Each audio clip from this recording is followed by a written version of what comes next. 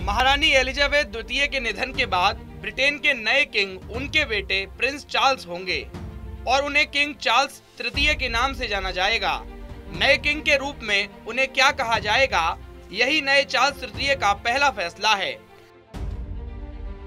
परंपरा के मुताबिक वे अपने लिए चार नाम, चार्ल्स, फिलिप अर्थर जॉर्ज में से किसी एक का नाम चुन सकते थे। साथ ही उनकी पत्नी कैथरीन को डचेस ऑफ़ कार्नवाल के नाम से जाना जाएगा। अब बात करते हैं चार्ल्स तृतीय की ताजपोशी कैसे होगी और उसका प्रोसेस क्या होगा।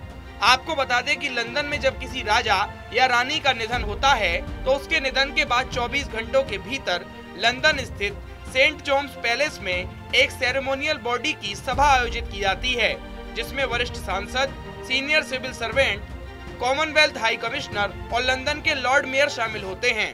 इस सभा में आधिकारिक तौर पर चार्ल्स को राजा घोषित किया जाएगा।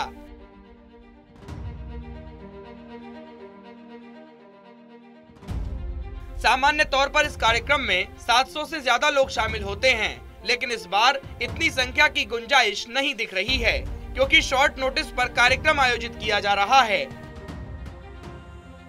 उन्नीस सौ बावन में जब एलिजाबेथ द्वितीय क्वीन बनी थी, तब तकरीबन 200 लोग इसके गवाह बने थे।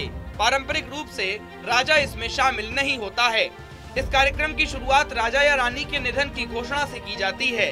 ये घोषणा ऊँची आवाज़ में होती है और प्रेयर्स के बाद दिवंगत राजा या रानी की उपलब्धियों को गिनाया जाता है। साथ ही नए राजा या रानी की खूबियों को भी गिनाया जाता है। इन सभी घोषणा पत्र पर प्रधानमंत्री और कई सीनियर ऑफिसर साइन करके आगे की कार्यवाही करते हैं।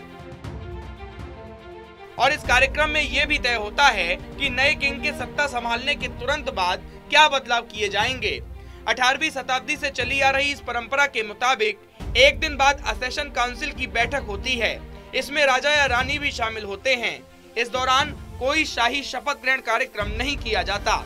लेकिन परंपरा के मुताबिक राजा या रानी चर्च ऑफ़ स्कॉटलैंड को संरक्षित करने की शपथ लेते हैं, जिसके बाद सेंट जेम्स पैलेस की बालकनी में एक सार्वजनिक घोषणा की जाती है।